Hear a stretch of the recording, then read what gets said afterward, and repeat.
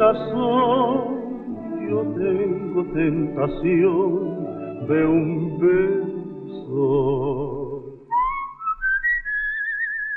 Hoy se conmemoran 58 años de la muerte del ídolo mexicano Pedro Infante, actor y cantante ícono de la cultura popular en México. Durante su trayectoria artística, grabó más de 360 canciones y participó en más de 60 películas en la época del cine de oro. Sus comienzos datan en 1939 al participar como extra en la cinta En Burro Tres Baturros, participando con Carlos Orellana, Sara García y Joaquín Pardavé. En 1943 protagonizó su primer filme con La Feria de las Flores. Pepe el Toro fue el personaje que llevó a Infante a posicionarlo entre las celebridades del cine mexicano al aparecer en la trilogía formada por Nosotros los Pobres, Ustedes los Ricos y Pepe el Toro. Pedro Infante participó al lado de grandes figuras como Blanquestela Pavón, Sara García, Carmen Montejo, Silvia Derbez, Miroslava, Marga López, Evita Muñoz y María Félix. El 15 de abril de 1957 sufrió un accidente a bordo de un avión en la ciudad de Mérida, Yucatán. La aeronave cayó minutos después del despegue, ocasionándole la muerte. Los restos del ídolo del pueblo se encuentran en el Panteón Jardín en la Ciudad de México, donde cada año sus seguidores honran su memoria.